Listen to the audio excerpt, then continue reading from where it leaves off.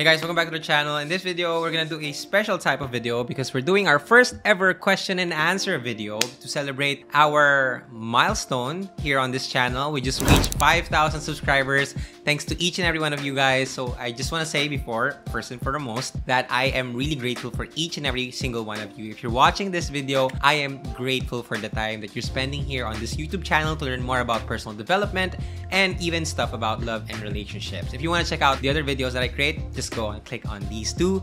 But for this video, we're gonna do a special kind of video. This is like a celebratory video. And hopefully this is gonna be the first one, the first question and answer video that we're gonna do. Once we reach, you know, 10,000 subscribers and 50,000 subscribers and even 100,000 subscribers, we'll be creating more question and answer videos. So, you know, just manifesting and throwing it out there.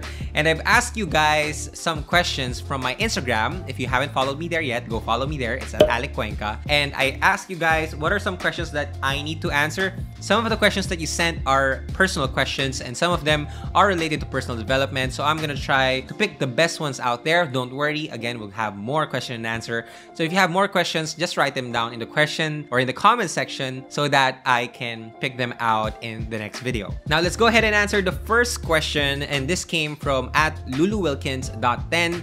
He asked, What's your job slash profession? It's a question that it's still relatively hard to answer because I'm doing a lot of things, okay? I'm doing a lot of things but I don't really have a fixed job. I could say that I am a content creator at best, but aside from that, I'm doing a lot of things. I'm doing some coaching on the side. I'm doing some mindset trainings, mindset coachings, life coachings. I accept one-on-one coachings. I have a group coaching session called the Better Me Project. Also, if you're interested, click the link below to join. It's an amazing session where we just talk about or we deep dive about the topics that I talk about the podcast and here in the videos. And it's just an amazing amazing community to be a part of. So if you're looking for a personal development group, please join the Better Me Project down below. But yeah, I do some coaching on the side. I also do some hostings. I am also a digital marketer. I help certain brands, certain individuals, even certain organizations and companies to build their brands on TikTok and on the podcast scene. And also now I can add YouTuber as a profession. Crazy. Okay, next question came from RN underscore Gale20. She asked, What's my favorite self help book? I love this question so much because you know, books have changed my life for the better, and I would be more than happy to share with you the books that I deeply appreciate. And I don't know if this is a self help book, but I consider this one because all the journey or the journey that I am on started with this book, and it is the book from Paulo Coelho. It's called The Alchemist. It basically talks about how you can live your life and make your dreams come true it's that. It's basically that. But it's more of understanding, you know, that life has all of these challenges and you can still realize your personal legend, as he says here. And it's for everyone. It's not just for me. It's not just for, you know, people who are interested in personal development. It's for everyone. So I recommend reading this first because this opened my heart in learning more that there is more to life than to just survive and to just worry about how we can make money for us to have food on the table, to have a shelter. I mean, of course, we can be grateful for that, but there's so much more to life than that. And this book opened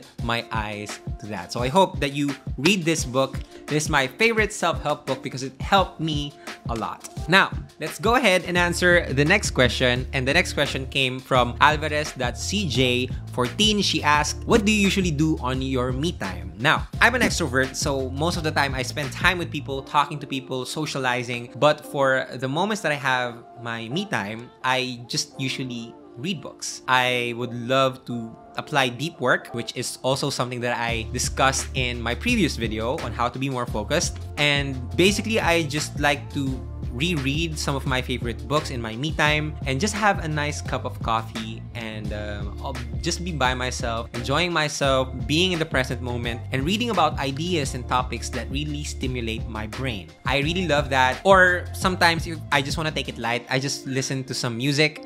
I am now in the phase of discovering new music that really makes my heart happy, if I can say that. But it's just something that I do when I just want to distress and have my me time alone. I usually dance when I'm alone while playing some music at the background. But yeah, aside from reading books for my me time and playing music, I guess I also just love to be there and think about things. I enjoy meditation a lot. It's also something that I've been practicing a lot lately. And yeah, more on the personal development stuff still in my me time because yeah, I get to be alone with my thoughts, with myself, and that's where I answer the hardest questions I could possibly ask myself. Okay, our next question came from jvanti underscore. He asked, what are my top three books? Now, as I've said, my favorite self-help books is The Alchemist, one of the top self-help books. But aside from this, I also have a lot of different books that I would like to share with you guys. I don't know if, yeah, I'm not sure that I have it here, but one of my favorite books is called The Think and Grow Rich. It's a book by Napoleon Hill. It's one of the classic. It made me understand more on how to achieve success. Here's the thing, you know, when we want to become successful, we need to study about success. When we want to be happy, we need to study about happiness, right? So reading books is something that I really enjoy and Think and Grow Rich is one of the books that opened my mind to learn more about success and not just in a way to be more rich in terms of our material wealth, but it's more of living a well-rounded life on how we can be wealthy in that aspect. So Think and Grow Rich is one of my top self-help books. The second one is The 5 a.m. Club. It's something that I am practicing now. I'm also, you know, in the middle of shooting Waking Up 5 a.m. for 30 days. So it's a video that you need to be excited about. And so it basically talks about the importance of having that morning routine of being your best version of yourself by just applying the small change of habit that is waking up in the morning or waking up at 5 a.m. It's a fun book. It's more of a story-filled book. It's not just about, you know, talking about this different concept. It's about a story of two people who are completely opposites, but they still figure out a way on how they could apply the 5 a.m. club in their lives. It's an amazing book. Go check it out. By the way, I am going to leave the links down below if you want to go check it out. Go ahead, buy them down below. Now, my third book that I would like to share with you, probably one of my favorite self-help book, is this book. I know the title, it looks cheesy, but um, it's really a good self-help book in learning how to love yourself more. And again, I've been an advocate of self-love and self-care for the longest time, but this book really put things into perspective. It's called Single on Purpose by John Kim, and it's basically about how you could learn more about yourself. And that's how change happens. When you start being aware of yourself, that's when you can actually change the things about yourself or redefine the things about yourself. Heading on to the next question, it's from Mate Tatu. How many books have you read for the past six months? I try to read one book every single week, but you know, I still am not keeping up to my promise, but I do or I manage to read at least three books per month. Here's a secret also if you want to read more books, read two books at the same time. It just allows you to shift from being creative and being productive and being or reading a fiction book, allowing your creativity to be there and learning more about these different concepts about science and all that psychology stuff. Read two books at the same time. It helps you read more books in a month. So for me, I've read in the past six months, probably 6, 12, 18, probably about 15 to 18 books for the past six months. It's really nice. Huh. Okay, next question came from Sam.Andrada. Where do you find strength when you hit rock bottom? I am very open and vocal about the moments that I hit rock bottom, and I could say that the strength or the thing that I am holding on when I hit rock bottom is actually my faith. It's my relationship with God. It's my relationship or my trust in the universe that everything will make sense. Because when I'm in my rock bottom, I can't rationalize myself out of it. So I make sure that I tap into a higher source that can help me get past through that. So my friends and family, they're very supportive in my darkest moments. I tried my best to have that self-belief, to remind myself, to affirm myself, but it all falls down to just surrendering to my faith, surrendering to God, surrendering to the universe that it will all make sense, that I am exactly where I am supposed to be. So yeah.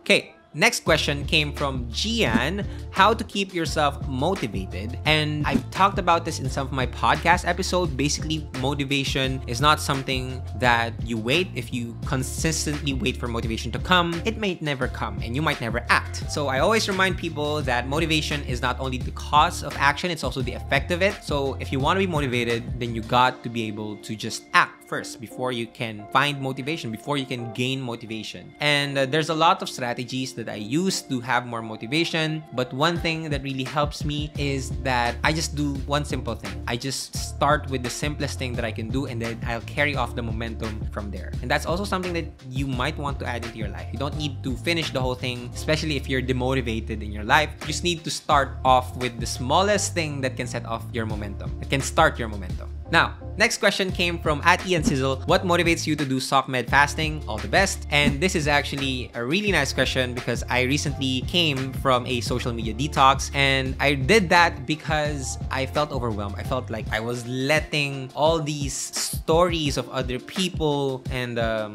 you know the truths of other people into my life while I, I'm still trying to figure out mine. And when it came to a point that I was so overwhelmed, I just said, you know what, I just need to do a detox. And basically, that's me being in a burnout with social media. And that's something that we need to be careful on. We need to make sure that we're regulating the use of our social media so that we don't get burnt out. We try our best not to compare our lives when we go on social media, but subconsciously we do it a lot. So, unless you really master that trick, you need to be careful on how you manage your time on social media because I wasn't and I hit my burnout, but that's okay.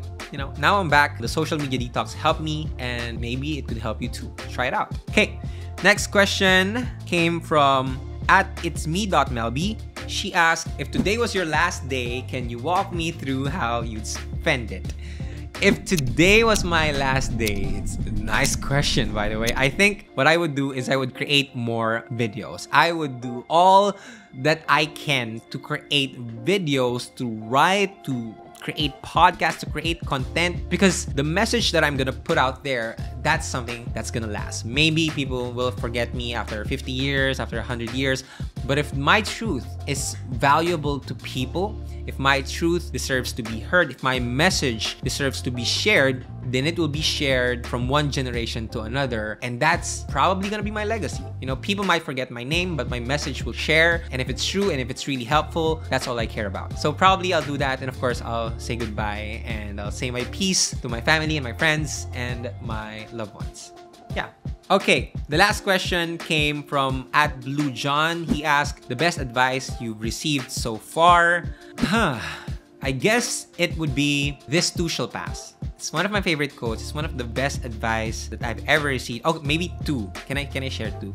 Probably So the first one is this too shall pass. It helps me to remain humble in my highest moments, and it also reminds me to keep going in my lowest moments. So that's the first one. This too shall pass. The second one is what if it works out better than I imagine? Our brain constantly thinks about what if it doesn't work out. But when I heard this advice, what if it does work out? What if it becomes so much better than how we've ever imagined it? Wouldn't that be so beautiful? And so every time I have fears, I have doubt, I remind myself that. And I hope that you remind yourself that too. So those are your questions. Thank you so much for sending those questions. If you have more questions, write them down below. I'll answer them in our next question and answer video. I'll probably create an Ask Alex segment here on the YouTube channel. So just don't be afraid or don't be shy. If you want to ask any questions, write them down below. I'll pick the best one and I'll create a video out of them if you'd like. And yeah, I guess that's it. Again, thank you so much for being here. Thank you so much for watching the videos, for supporting the channel, for supporting that I create on my TikTok videos, on my podcast. Thank you, thank you so much. And thank you for the 5,000 subscribers here on my YouTube channel. This is only the beginning. We're just starting from here and I can't wait to share more videos and more content with you guys. So if you like this video, click that like button, comment whatever you're thinking, any suggestions, comments, violent reactions, whatever, comment down below and make sure that you subscribe to this channel if you enjoyed this one. That's all. See you guys next video. Peace.